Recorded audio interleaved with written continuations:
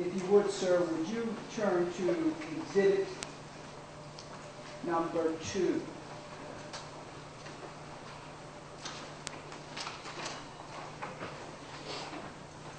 Are you familiar with that document? Yes. Can you tell the jury what that document is?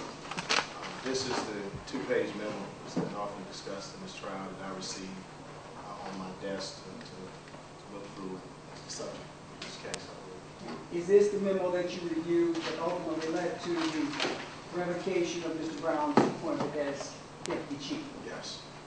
At, at that point, was he okay? I never thought this memo would rise to the level of where, where it has risen. I, I, I felt for, um, Mr. Nelson. And, uh, this police misconduct of the two officers, and then I further read down of what they were charged with. An off-duty traffic accident, flat tires, and excessive overtime. Now, mind you, that's six weeks of dealing with it. Um, and now it's, it's, it's blown up to be these different things coming, different memos flying. Let me ask you about the traffic accidents, the overtime, and the flat tires. Did you understand those to be within the scope of authority and responsibility of internal affairs at that time? No. Internal affairs has to operate with some priority. And first, it investigates criminal activity on behalf of police officers.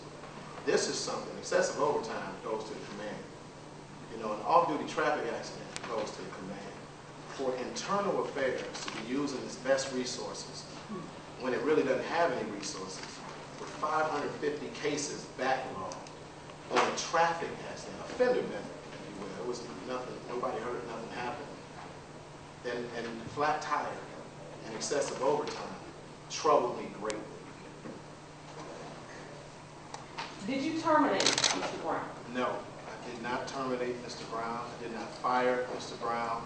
Uh, I removed him from the position. I appointed him from an appointed position.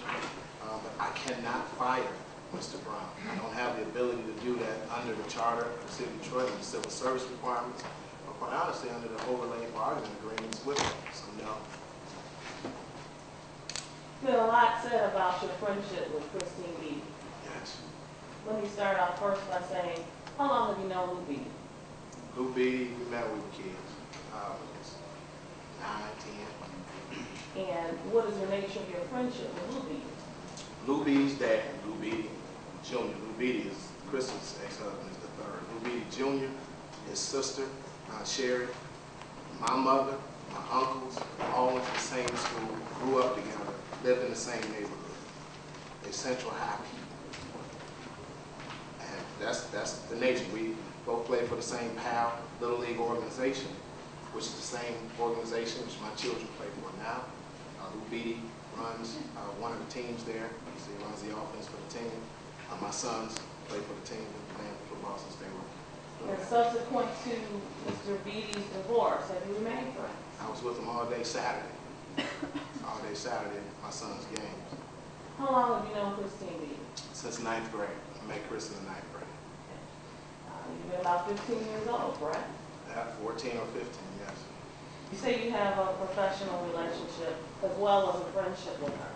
Yes. Um, do you believe, sir, that men and women who work professionally so without a sexual relationship? I absolutely believe that. I think it's, it was pretty demoralizing to her. You have to know her. but It's demoralizing to me as well. My mother is a congresswoman. There have always been strong women around me. My aunt is a state legislator. Um, I, I think it's absurd to assert um, that every woman that works with a man is a whore. I think it's disrespectful, not just to Christine Beatty, but to women who do professional job uh, that they do every single day. And it's also disrespectful to their families as well.